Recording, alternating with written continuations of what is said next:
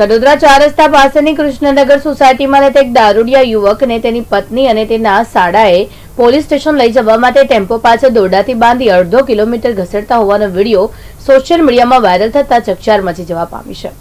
કડોદરાના કૃષ્ણનગર સત્યમ શિવમ સોસાયટીમાં રહેતા બાલકૃષ્ણ રાઠોડ અવારનવાર તેની પત્ની શીતલ સાથે દારૂ પીને ઝઘડો કરતો હતો. જેથી જાણ પત્નીને શીતલે તેના માતાને કરતા માતા અને તેનો ભાઈ અનિલ કૃષ્ણનગર ખાતે આવી પહોંચ્યા હતા.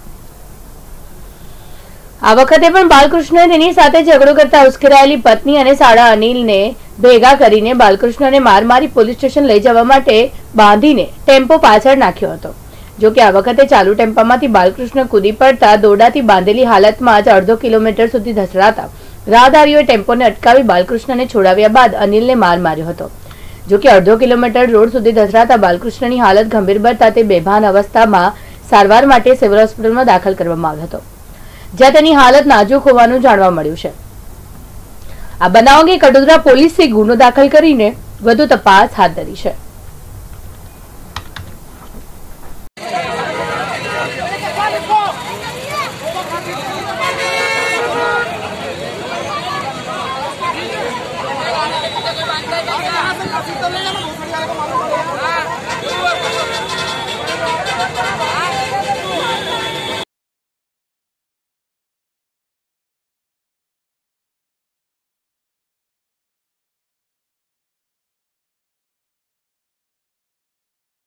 હરેશભાઈ. શું થયું આજે? એમ્બ્યુલન્સમાં લાવ્યો આજે?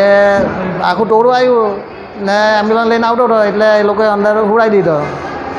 નહીં આવ્યો તો ખબર પડી કે આવી રીતના મારામારી થઈ ને ટેમ્પા પાસે ઘડી લાવ્યો એ લોકોએ કહ્યું. પછી પેશન્ટ અહીંયા લાવ્યા હા. પછી? પછી ડૉક્ટર કહે કે વધારે સિરિયસ છે એટલે પાછું ગાડીમાં બીજા ડ્રાઈવરે સુરત મોકલી આપ્યો. ગઈકાલે કડોદરાના કૃષ્ણનગર એરિયાની અંદર આ ઘટના બની છે, જેમાં ભોગ બનનાર જે બાલકૃષ્ણ રાઠોડ છે, એમણે એમની પત્નીને ગઈકાલે મારેલી હતી અને ઘરની અંદર બધો સામાન પણ વેરવિખેર કરી નાખેલો હતો. જેના અનુસંધાને પત્નીએ એના ભાઈને ફોન કરીને બોલાવેલા અને એમના ભાઈ આવી જતા આ જે બાલકૃષ્ણ રાઠોડ છે, એમને મારેલા, મારી અને ટેમ્પો પાછળ બાંધી અને ઢસડીને તેઓ લઈ જતા હતા. ત્યારબાદ પબ્લિક ભેગી થઈ જતા, પબ્લિકે પણ એમને ત્યાંથી છોડાવેલા હતા.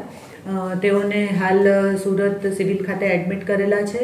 કડોદરા પોલીસ સ્ટેશન ખાતે ફરિયાદ લેવાની કાર્યવાહી ચાલુ છે. અને જે બાલકૃષ્ણ રાઠોડના પત્ની અને એમના ભાઈ છે, એ પોલીસ નિગરાની હેઠળ હાલ પોલીસ જીઆઈડીસી પોલીસ સ્ટેશન ખાતે છે.